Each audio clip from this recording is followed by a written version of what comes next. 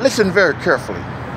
Why would an individual go hunting for a goldfish where, in other words, he can catch a whale?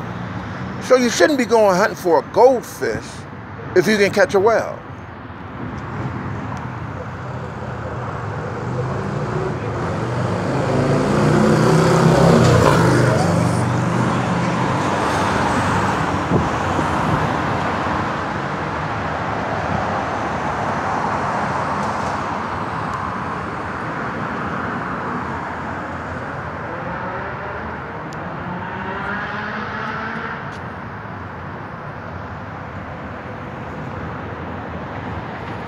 It doesn't make any sense.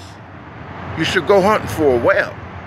And once you catch the whale, you have all the goldfishes.